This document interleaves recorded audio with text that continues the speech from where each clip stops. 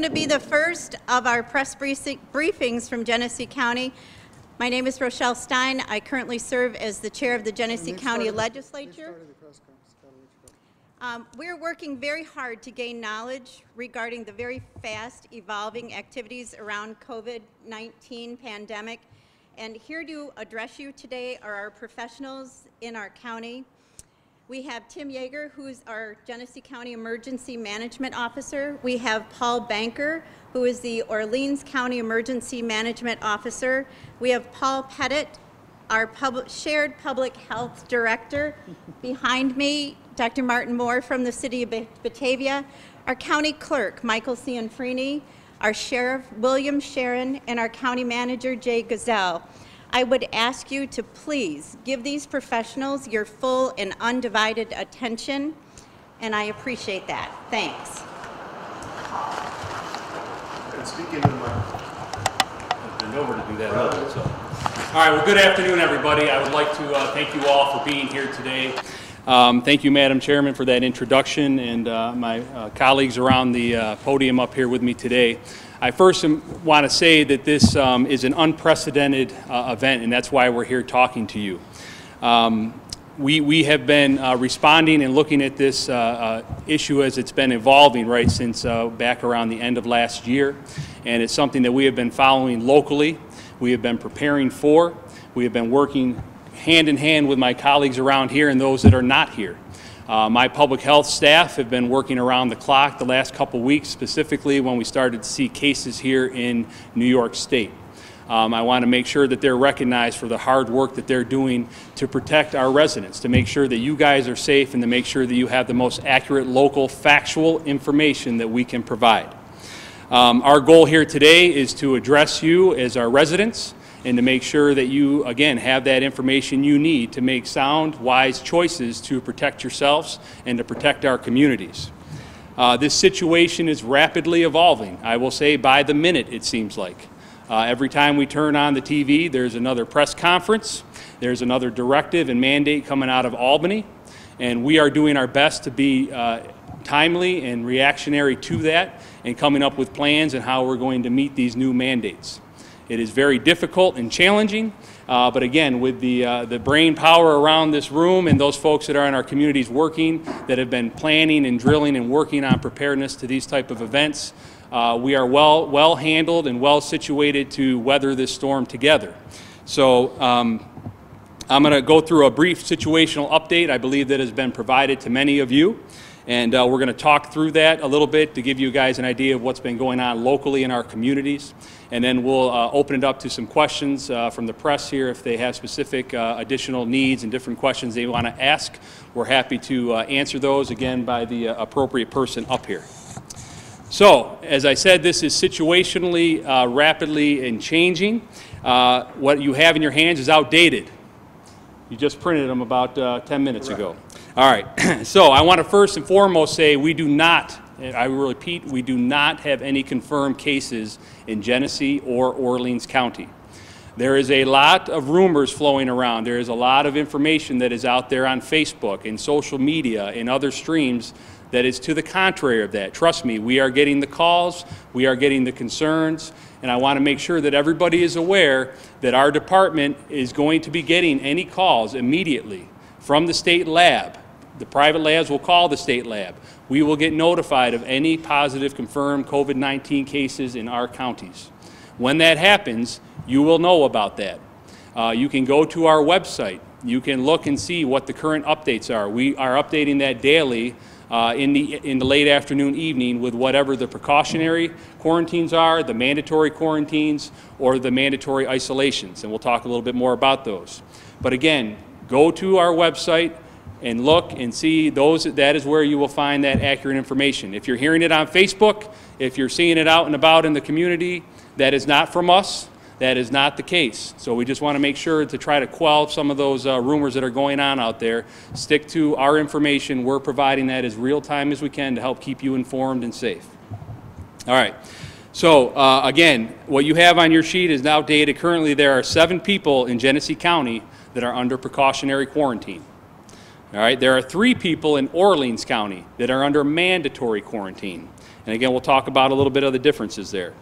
Um, you know, the quarantine uh, approach is really to separate folks. Again, we want to keep them uh, apart from one another. It's restricting movement. So when we're talking about precautionary, these are folks that uh, may have come back from a- an area, again, internationally, uh, uh, especially leading up to the last week or so, where there's widespread community spread of COVID-19. So we want to monitor those folks. We want to make sure that uh, they're home, they're following through that 14-day incubation period and not becoming symptomatic uh, during that time. Then there's the, there's the mandatory quarantine, and these again are well folks, the, but these are folks that have been exposed to a confirmed case of COVID-19. They're at a higher risk of potential uh, COVID-19 illness and becoming symptomatic, so those are mandated quarantines. In isolation, just uh, to clarify, is those that are, are ill or and are symptomatic. So those are folks that are actually uh, showing symptoms and have tested positive from COVID-19, and those folks are under mandatory isolation. So there's three different levels of uh, approaches that we're taking when it comes to dealing with our folks, um, uh, depending on their exposure and their symptomology. Um, one thing to note is our testing capabilities are currently limited. Again, there's been some uh, differing stories from the federal level down to the state on the availability of uh, swabbing kits. And uh, the reality is here, I can tell you right now, in our, our county health departments, we have zero. Um, we are currently working uh, very quickly uh, through emergency management, through the health systems to get more swabbing kits. Uh, but at the moment, it is very limited in our communities. Uh, obviously, there was an announcement made uh, a week or so ago now that our community providers and health systems can start uh, doing their own swabbing. And our understanding is that is starting to occur. There is um, swabbing kits that is out that are out in the community, and they are beginning to do that. Uh, but from the health department side, we are very limited, and we are working hard to get more kits. And we'll talk a little bit more about the uh, community uh, drive-through swabbing sites in a little bit. Uh, a little background again, both counties have declared an official state of emergency. Uh, that happened on Saturday, went into effect uh, midnight Sunday morning. And that was done, again, through a lot of consultation and a lot of discussion with our county managers and our county executives around the need to do that. Uh, we were working hard with our school districts uh, in both counties. Uh, we had ongoing discussions, and, and, again, just so people are aware, this was not a, a knee, jerk reaction. Uh, we have been discussing these plans for many weeks um, around what we are seeing around the world and around the country with cases starting to increase. Uh, a decision was made uh, again on Saturday that we needed to move forward with closing down schools. So we went through, again, through a lot of discussion around making those unprecedented decisions. And that's where we are today with those. So we are in a, a local state of emergency in both counties, and that will be in place for a minimum of 30 days, and it will be reevaluated as we move forward. Uh, we do want to encourage our parents, um, you know, to communicate with their local schools. There's a lot of information that's going out through their robocalls and other ways they're sending out information. Uh, so we want you to check with your local school districts. Uh, they are all doing a, a little different uh, approach to how they're dealing with things. A lot of them are standing up and providing meals, breakfast, lunch, etc. Because uh, again, we want to try to make sure we're helping folks with those wraparound ancillary services that they need during this time. So make sure you're checking your school's websites. Pay attention closely to the information that they're pushing out. Uh, that is being done individually by them. Uh, obviously, uh, late breaking news today. Uh, the governor obviously did some new changes to protocols, and as of 8 o'clock tonight, restaurants, bars, gyms, movie theaters, casinos are all closed to the public. Um, restaurants, et cetera, are going to be uh, open to carry out and take out. So again, uh, restaurants are in, in, planning. I know we've heard from several of them today about that process. Uh, so again, uh, if you have concerns, call ahead, see if they can, uh, you know, service you and figure out what um, they can do to provide you food during this time. Um, we're going to continue to provide updates on our websites in both counties uh, with new information, again, that uh, is trusted and factual. So we want to uh, definitely send folks there as uh, best we can. Uh, we want to encourage all those that are experiencing respiratory illness and symptoms to call their primary care provider first. The last thing we want to have happen is folks that are symptomatic, again with respiratory issues, is to go to their provider's office into their waiting room with other sick folks. Uh, we really want to make sure that they're calling ahead. Uh, do not go to the urgent cares, do not go to the emergency rooms if you have mild symptoms uh, relative to respiratory issues. Uh, I would like to remind folks, and we've been talking about this in a lot of our uh, press releases, Influenza is still very widespread and prevalent in our communities. We still have 20 to 30 to 40 cases per week occurring in Genesee and Orleans County. More than likely, if you're having respiratory illness at this moment, it's going to be influenza or some other respiratory illness. There is no evidence of widespread community uh, spread of COVID-19 at the moment. Um, we- we're not going to stand up here and say that there is not cases. Uh, we just have not identified them yet. But more than likely, the experience that you're having is from another respiratory illness. So we want to make sure, again, you are calling ahead. Do not flood our healthcare systems with, uh, you know, the, the, the walking well and those that are um, uh, concerned. We need to make sure that they are kept clear and kept clean for those that actually need that level of care.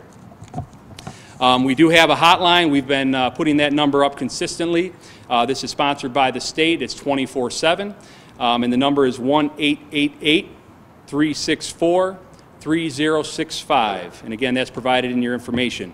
We want folks to call that number if you have general questions about COVID-19, about some of the guidance and the restrictions that are in place. Call that first. They will hopefully be able to provide you with the information you have. Um, if you're feeling stressed out, um, if you're overly anxious and you need and you need someone to talk to from the mental health side of things, we do have a care and crisis helpline that covers both Genesee and Orleans counties. Um, again, that number is listed there, uh, 585-283-5200. Again, 585-283-5200. And we would encourage you to call that number if, if you're dealing with some uh, mental health issues and you need to talk someone, uh, talk to someone. Again, that is available. There is also a text line that's available, 741-741. Um, So again, uh, this is a a rapidly evolving situation. Uh, We are currently working uh, in the background and logistically to set up our drive-through swabbing locations. Again, you may have seen some of these uh, setups downstate and across the country where, again, we want folks to go to once the uh, the swabbing becomes readily available in our communities, not going to the doctor's offices again, not going to the healthcare systems, but going to these locations when they stand up if you're symptomatic. Again, based on your screening, with the limited availability of swabbing kits, we are screening. We're looking to protect and to test our most vulnerable populations. Again, that is our senior population, and that is uh, those with immune-compromised uh, health issues. So if you fit those uh, categories and you're having respiratory issues, those are the people that we're going to put priority when we do our swabbing. And again, this is starting to slowly ramp up. It, be, it shall become more uh, available as we move along. But until that time happens, we're going to be screening and, and prioritizing and triaging to that, to that effect. So again, if, you, if you're sick, stay home. We don't want you out in the community. We don't want you out at your workplace. We don't want you going around and, and spreading that. So stay home. That's the best thing you can do. Uh, make sure, again, these common uh, non-pharmaceutical interventions, NPIs, washing your hands frequently. It's very important that we're doing that continually. Uh, making sure that we're practicing social distancing. Obviously, the, the different directives and things that the um, uh, state has put in place are extreme by a lot of measures to a lot of folks. But we need to be doing this in order to quell and to, you know, suppress the spread of this in our community. Um, We, a lot of these measures are pre- preemptive, all right? We do not have a confirmed case. But the best time to implement these type of measures is before we have a case. Once we have a case, we know for a fact that that is already starting to spread around and we're going to be behind the eight ball. So the best thing we can do now is spread out and practice the social distancing, listen to the guidance that is from our folks around here that we're putting out in our press releases. It's very important that you um, stay consistent and, and you adhere to those guidelines, even if they seem extreme and un- unnecessary.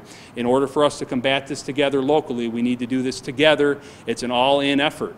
And I know that together, working collaboratively, if we, if we all comply and we work towards uh, meeting the end of this, then we'll get there. Um, there. There's no doubt in my mind we can weather this storm together. So um, with that, uh, I don't know if anybody else has any comments. We comments? got two things Okay. before we get to questions. Mike Cianfrini and the city manager would also like to make two very Okay. specific remarks. And then unless EMS has something else, then we open it up to questions. Sounds good. So, Michael? Okay. Thank you. I just very briefly want to update uh, everyone on the status of the county clerk's office and specifically the motor vehicle office. Um, The situation we've got in the motor vehicle office is we are very short-staffed as it is. Uh, And in light of the COVID-19 crisis that we have right now, we found today that we had only two cashiers and one trainee. Uh, Were the only ones we had available to run windows. Um, So an already short-staffed office uh, has seen the problem exacerbated quite a bit. Uh, What we found today was that the volume of traffic that we had in the DMV far exceeded what any uh, reasonable uh, healthcare professional would see, would deem reasonable. Um, We had lines out the doors today. We had a lobby full of people from the minute that we opened the doors until the time I left to come over to this conference. Uh, This goes against every, every bit of advice that we've had with regard to social distancing. Um, it exposes my staff and everyone in the office to any contagion that the public might bring in. What we're finding is that with a lot of the counties around us going to uh, appointment only or closing completely, we're getting a, a large volume of traffic coming in from out of the county to, to come to our DMV. So in light of that, commencing tomorrow, uh, March 17th, our DMV will only allow uh, less than 10 people in the lobby at any one time. So uh, if we get more than that, they are going to have to wait outside of the motor vehicle office. Uh, The sheriff has uh, indicated that he's going to have a deputy there to assist us with monitoring that. And potentially, the wait times could be very long. Uh, I'm not sure what our staffing level is going to be for tomorrow, but if the volume of traffic is anything like it was today, the wait could be significant. So what we're asking the public to do is, to the extent possible, don't come to the DMV unless absolutely necessary.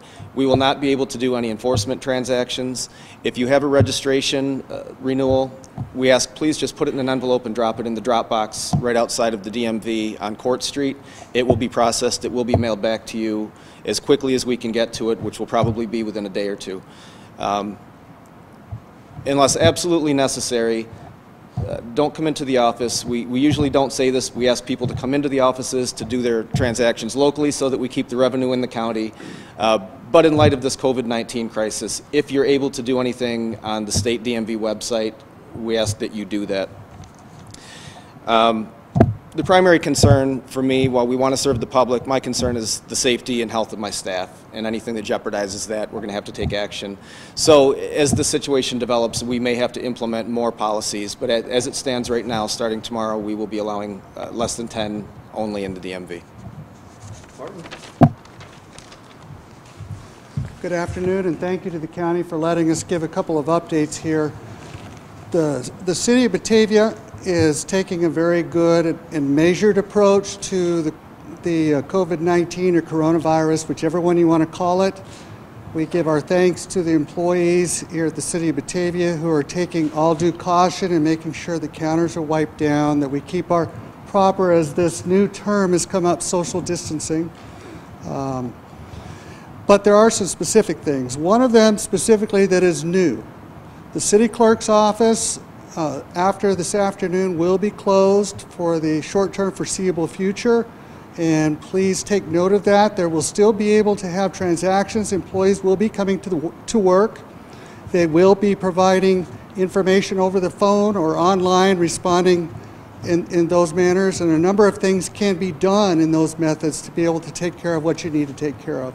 But we have had some instances, most people are very good about actually stepping up and, and if they're not, if they're not feeling that well, not coming in. But we have had a few instances of people, or one or two at least that I've heard personally, coming in, coughing, hacking, and out of caution for the employees here at the city clerk's office, we're asking, we're telling you the door will be locked if you try to walk into that door. Uh, the, the Public Works office will be you need to call ahead and let them know you're coming. Please make sure you don't have any issues and check in with them if there's something dealing with building permits and those type of things. In relationship to the city manager's office, my assistant city manager, I didn't have a chance to brief her, but we are going to be asking appointment only, please. Uh, Call ahead. We, that way we can help control some of that because we do get some traffic from the public in and out of, in and out of there occasionally. Also, I did want to remind you of some other areas in the city that have already been noticed out in the press. One of them is the police department. Uh, the police department doors, as you walk in, you'll probably notice they're locked. And if you try to call in, they will let you know what, what method of communication you can do. I think they would like you to call. There's, they do have a dispatch number. If there's an issue and you can't get a hold of 911, please do call 911 if you have an issue or a legitimate emergency. I did also want to clarify for anyone who was wondering that yes, the police are available to answer calls for service if they are related to an incident in progress, such as a crime and those type of things. If it's not a specific incident in service, they may call you back and say, okay, what do you have? What is your concern? And if it looks like they need to come out, they'll make that judgment call. If not, uh, they'll work with you with the other uh, means of technology and things that we have to be able to help you out. The final thing is to let you know, those of you who are hockey fans may be a little bit disappointed, but the uh, Ice Arena, we spoke with the management over there and they will be closing. In fact, as, as of today, they're closing for the foreseeable future. Uh, you can go ahead and call over to them and ask them what they're thinking about, but in relationship to dealing with these gatherings and getting people together, um, they felt and we felt in talking with our Public Works Director that it's better for that to stay closed for right now. One other thing, and following up with what Martin just said about city facilities, the county two parks in Bethany and in DeWitt are both closed officially as far as events, reservations, and the pavilions that are there. The parks themselves, if you wish to walk or run around them, uh, those will still be accessible in that regard, but for nothing else that draws a group, nor is any part of our reservation system or the normal way in which the county parks, uh, those two county parks operate. So you will find the gates locked, um, as far as at both facilities where going into the interior of the park is not going to be an option going forward. As Paul indicated, all of what we're trying to do here is coordinated between two county governments. The consistency on the two websites, as far as county health departments, um, is exactly the same. Obviously, in terms of certain details, as Paul indicated, that will also be modified for each of those counties.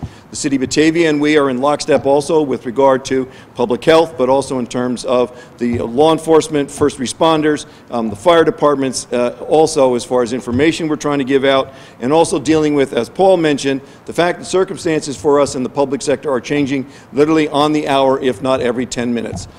And that also deals with the most recent directive that came from the executive office with regard to our own workforce. So we are both working on plans as to how we will try to adhere to that directive, but we also have to put plans together and deal with the individuals who we are charged with and responsibility and responsible for making sure our county workforce and our operations have some semblance of continuity going forward. But that is very much a work in progress, uh, and literally, as I indicated, could change based on whatever the governor does or doesn't say anytime during his press conferences, or as he's also dealing with issues dealing with the state budget, and all of us as part of the local government uh, response sector. So either Tim or or Dale, anything else?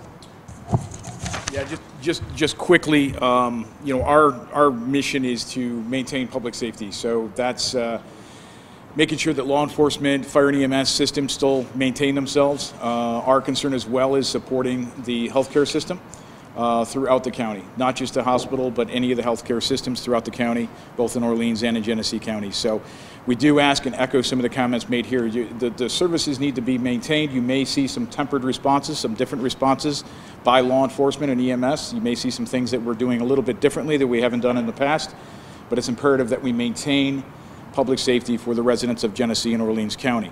Uh, we do ask again, as, we, as just has been mentioned, uh, we prefer obviously we hold emergencies to 911. If it's not an emergency, please do not use the 911 system.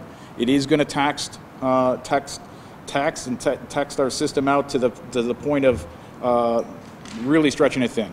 So if it's not a true emergency, pick up the phone, call your primary care physician, call the hotline, and get the information you need. And um, we'll do the very, very best that we can.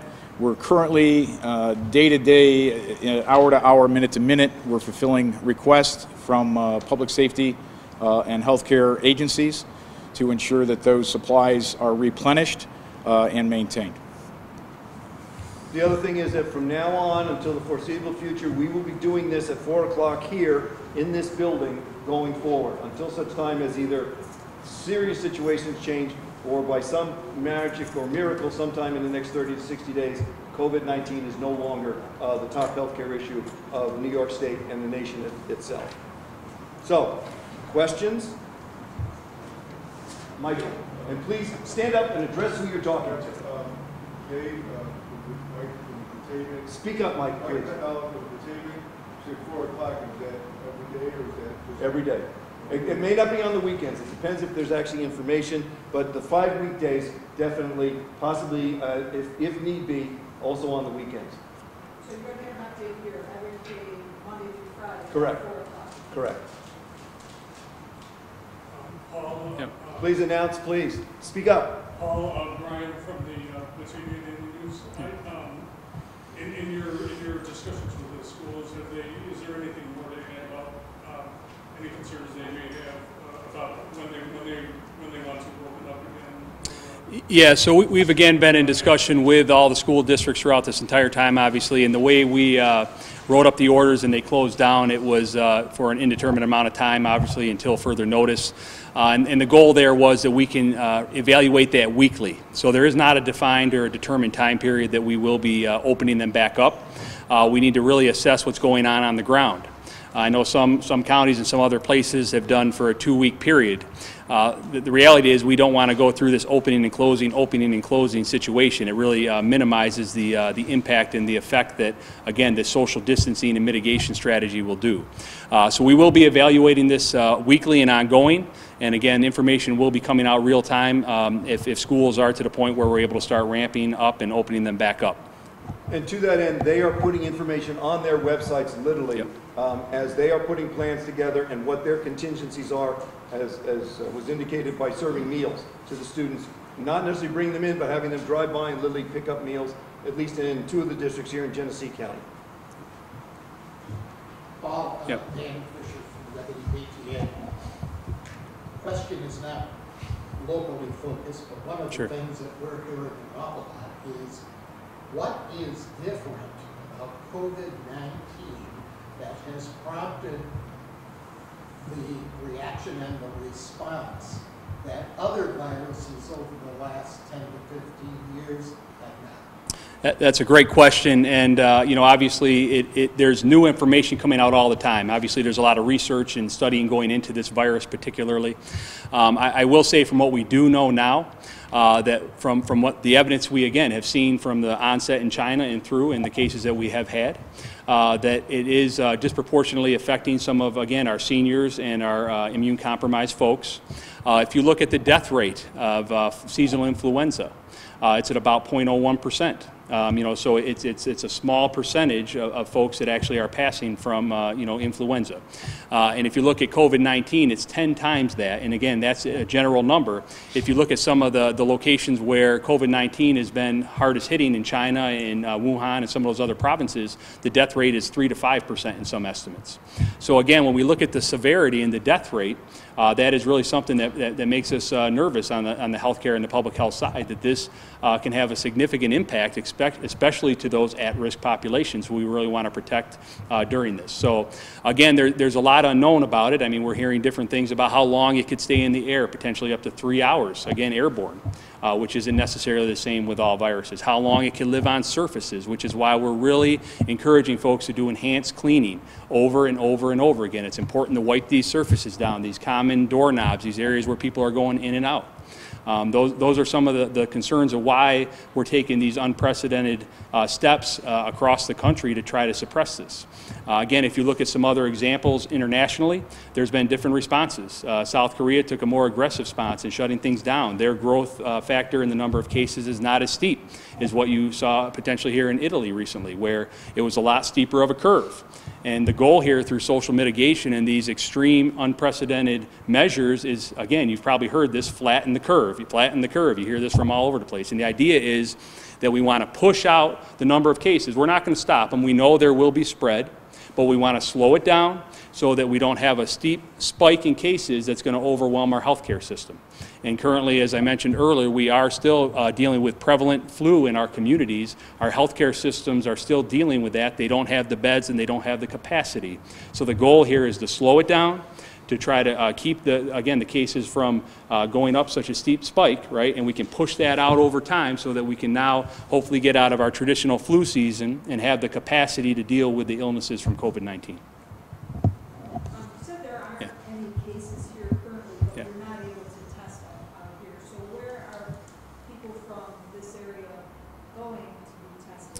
Yeah, so as, as I mentioned, we do not have any test kits as I speak right now in the health departments. Uh, we do know that there are some local providers, again, that are able to potentially get some of those kits through their uh, healthcare systems and their affiliations with their uh, the groups. I, I know uh, UMMC does have some uh, swabbing kits available. Um, we do have some that we are hopefully going to be getting tomorrow for limited um, uh, swabbing, but that is an evolving, uh, evolving scenario. As we get more kits, it'll become more readily available, which is why we're encouraging folks to call their primary care physician so that they can be screened to see if they're uh, one of the appropriate folks that we would want to uh, swab for COVID-19, again, based on the, the screening criteria and the risk factors. Um, But again, at some point, probably later this week, we'll be coming and talking a little bit more about some of these drive-through drive-through swabbing locations and how uh, best to uh, uh, relay the information to our residents and how they can uh, interact and utilize those stations. So how soon will you be able to get, um, some of those testing kits here? You said you weren't sure when, you have a date? You have- Well, uh, again, so we will have more kits tomorrow on the health department side, but there are more kits. We are hearing from community providers. And again, uh, we, we're losing our ability on the public health side to fully understand, you know, the testing and the, the swabbing that's going on. Because once providers um, have the kits, they can order the, the test just, or the swab just like they do for any illness, right? Uh, they're going to go to their private labs or their health systems labs to be tested. So we're going to be responding to positive cases at that point when we get notified and isolating those folks when we uh, identify them and doing contact tracing back to those exposures. And Paul, with regard to the testing, what kind of turnaround have you experienced so far with kits that have been sent to a certified? Yeah, so that, that's, uh, it's been a challenge. Uh, Wadsworth uh, State Lab has, was the uh, initial lab online for New York State, and uh, the turnaround time was varying between two to four days because they were really getting swamped with what was happening downstate, and they were the only ones running them uh, in New York State. And then slowly since then, other labs have come online. Uh, locally, uh, Erie County Public Health Lab is the one that we're utilizing, but we're also, also hearing from some of our health systems that uh, they are now doing uh, the testing in Rochester at URMC and Rochester Regional. And I know there's other labs coming on all the time. So the, um, the uh, ability uh, to test and that time turnaround will hopefully really shorten. Uh, Pretty much when we get the uh, test kits to Erie County by 11 o'clock in the morning, uh, they're, they're able to turn around that result so we can have that later in the day. And as far as your updates on your website, uh, are they going to be appearing at a certain time each day? Because I noticed today there's nothing, you didn't date yesterday. Yeah, so, so the goal is to try to put those uh, updates as far as the numbers you're talking about. Yeah, to have those up there hopefully by 5 o'clock every day with the newest numbers. And again, you just, uh, you got to keep in mind, that's a continually rolling clock, so, and rolling numbers. So we're trying to at least put up once a day a snapshot in time of what we have in both counties. Yep. Is, is there anything that you can specify about where the other, um, uh, drive, drive-up testing sites would be? Yeah, not at this time. Uh, Emergency management is working with our staff and- and looking at uh, some different locations in the county. Um, Obviously, we got to vet them and make sure that they're suitable to handle uh, the traffic flow that would be coming in potentially for swabbing. So we really want to make sure that uh, we've identified locations that, number one, are going to keep folks safe, right? And make sure that they're locations that are suitable for cars and suitable to to protect uh, not only our workforce as they do these uh, swabs in in the field, so to speak, but also, uh, you know, the facility and the grounds and all the personnel. So uh, we will have more about those locations soon, within the next couple days. Paul, there's talk about a two-week quarantine for all, the whole country. Have you heard that?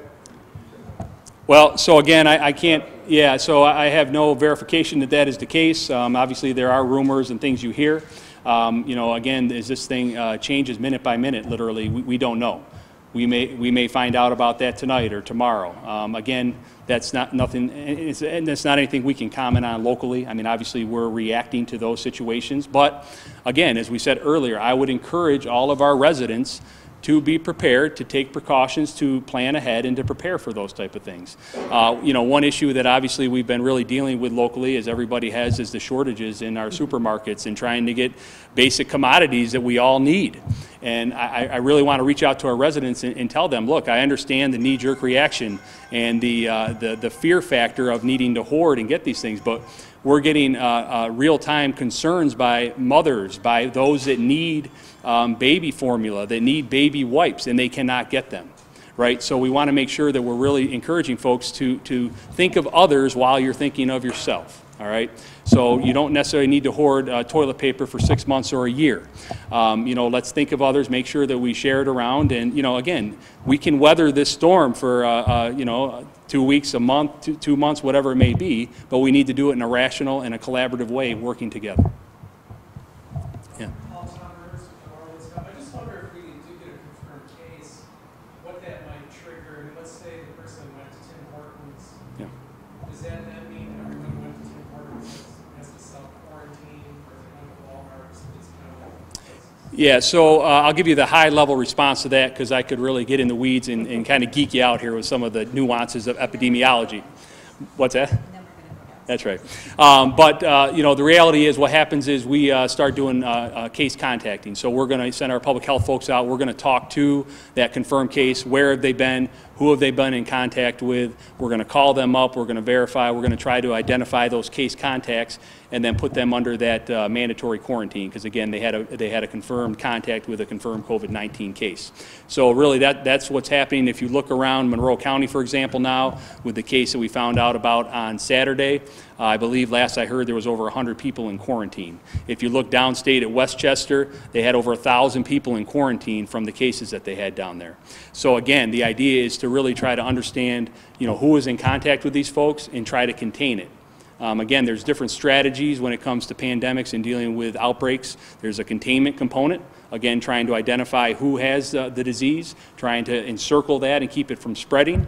And then there's the community mitigation side. So we're in this hybrid moment where we're still doing containment, we're still trying to identify and try to suppress it that way, but we're also doing extreme measures here through social distancing, again, trying to keep folks apart from one another.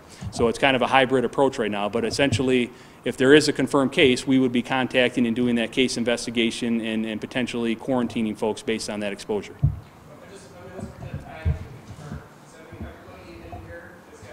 So, so again, you got to look at the definition of exposure. Uh, it's six, it's within six feet for a prolonged period, uh, period of time. It's somehow exposure to, you know, the virus. So not necessarily. Um, that's something we would have to do through, through discussion and looking at it. Um, again, there's some unknowns as we've talked about with this virus. Um, so that's why it's important, again, to keep folks apart. It's counterintuitive to some extent. We're all sitting here uh, like this because we could all be in quarantine, I suppose, um, if it came down to that. But, you know, the reality is we still need to figure out a way to go about our, our daily lives in as much of a normal sense as possible. Um, we just need to do it in a very cautious and preventative way. Yeah. Jay, question for you, so if if you, I- By the way, I turned my device off, thank you. I said I turned my device off, thank you. Go ahead, sir. I have now done that. Uh, Obviously, the number one concern here, I think, from everyone is the, is the public health. But at some point, there is an economic impact to all of this. As a county manager, does that concern you? A, B, have you ever seen in your career, which is now some twenty-seven years, 45 total, because I can relate to an experience elsewhere. Go ahead. Well, you certainly have the aging, wisdom age. But I'm also one of the target population. And one point Yes, sir. Is, is, you know, just the loss of sales tax, gonna really come back. Well, it, it, yeah, and to that regard, obviously, it's, it's across the entire state of New York. We are obviously major uh, beneficiaries of what we do with our local sales tax and what the state generates as far as their budget is concerned. Obviously, there's a lot of stuff that's in play as far as that's concerned. The fact that many of the local facilities that are part of our sales tax stream are not going to be operating on their normal basis going forward, um, but a number are, is something that obviously, as far as we're concerned, we will, and our, the person who gets all that detailed information um, is the county treasurer with regard to results he's seeing with each of the shares that we get and that get distributed to others in the community.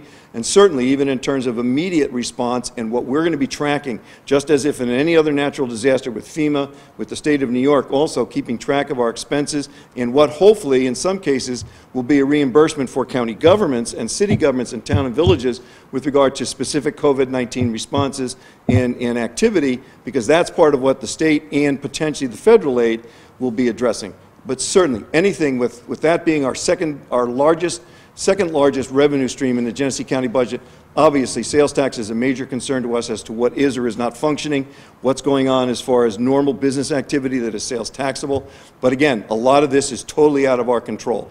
As Paul indicated, and as we're seeing even literally today, uh, the information coming from the state um, is very much one-sided and certainly wasn't shared. You folks, even in the media, got information about the, the uh, essential versus non-essential before even the governments and the local governments throughout the county uh, knew that this was even in play as he was having a press conference this morning at 10 o'clock in the morning. If I can ask, uh, Health Department and uh, Emergency Services, the smaller, uh, the first responders, volunteer fire departments, the ambulances in smaller towns, how are they prepared for this? And have they been briefed in any way, or do they have any special protection at this point? They've been briefed. We have a meeting with all the chiefs and EMS uh, uh, providers this evening at 7 o'clock, uh, and that's for the, the agency uh, leadership.